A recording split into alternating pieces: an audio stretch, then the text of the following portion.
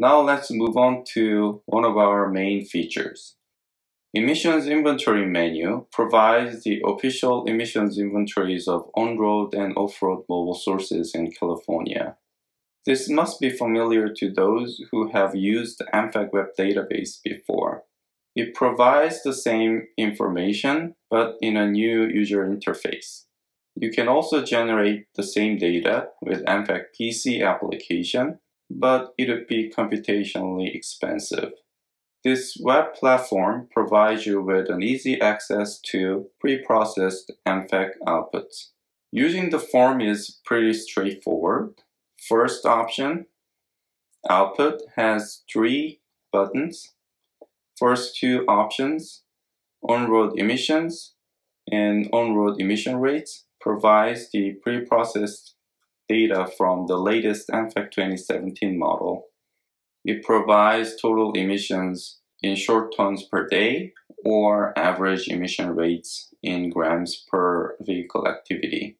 Off-road emissions the last option, provides the data uh, from the latest off-road Orion model. The off-road used to be provided at a separate web tool, but is now provided together with on-road here. Select one of the options. Can you see a yellow question mark icon over here?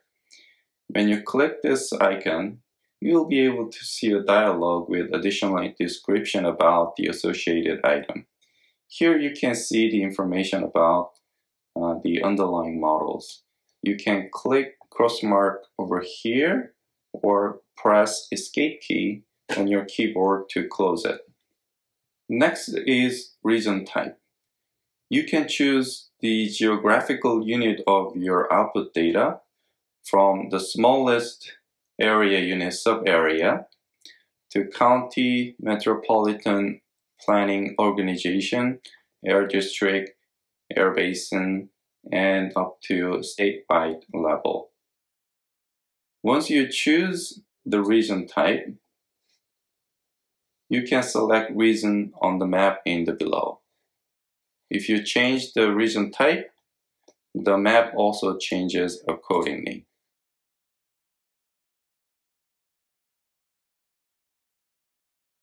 Let's choose sub-area for now. You can select the area from the pull-down menu over here too. Or you can type a few characters in the form and choose the area you want either by clicking with your mouse or pressing enter.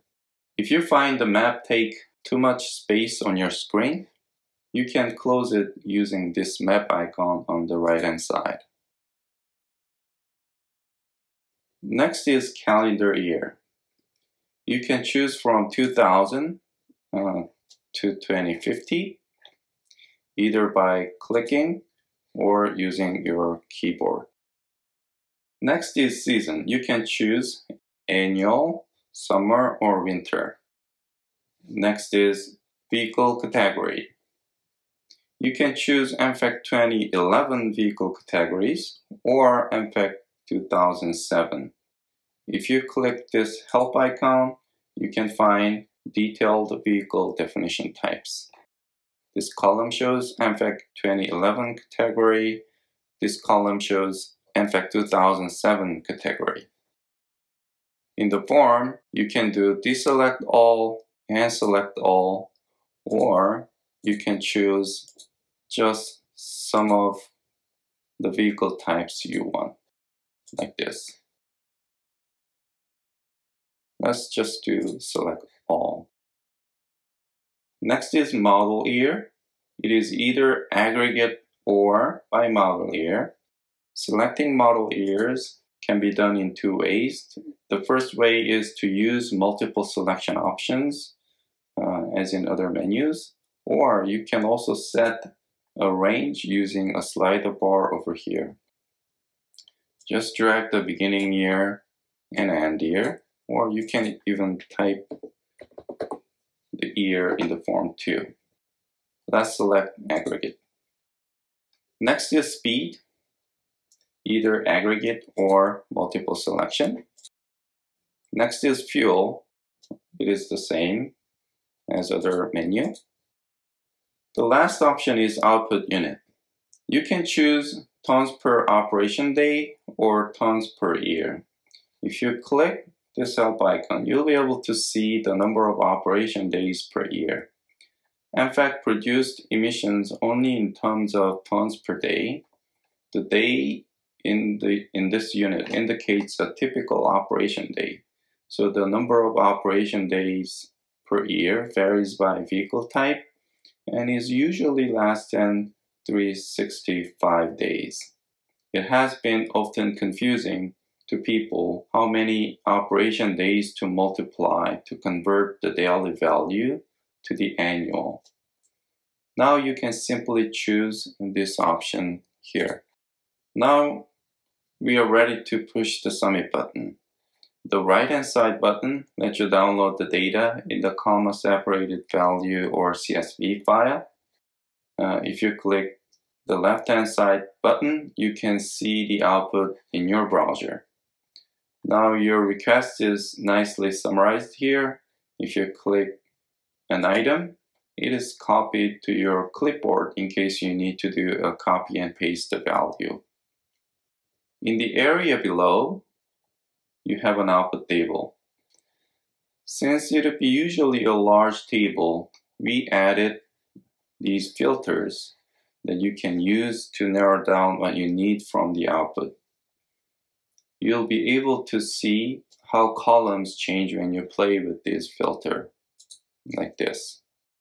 All the activities are gone. If I deselect this button, and this is pollutant, and this is this controls processes. So for example, you can choose just VMT and NOx NPM and running exhaust. So even with the large output, you can easily focus on what you need. There are a few icons on the table too. If you click this icon, the output table will be removed. This icon lets you download the data in CSV format. This icon will let you in the full screen mode and exit from full screen mode. This icon will make uh, the table a little more condensed. And if you click it again, it'll be a little more relaxed by default. Just to provide a continuity in your work, if you select or change anything in the form, your selection is stored in the browser. Also, your last submission output is also stored in the browser if it is not bigger than what your browser allows, which is typically about 5 megabyte, as I said before. So you can always come back to the form to continue to your work. So for example, uh, if I just reload, you can see the same selection, right?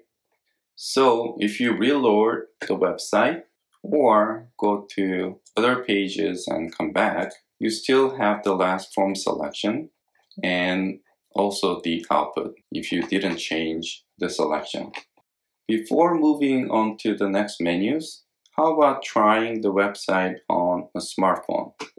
This is a browser's features to emulate small devices the screen is set to a common smartphone display size. Now you can access the menu by touching the menu icon here. It provides the same functionality as in the desktop mode. As you can see, it's a little busy for a small icon, but it is not too bad, especially when the filters are used. So same as before, your request summary, filters, and the table. So if you use these filters, even on a small phone display, you can easily check out some important information from EMFAC.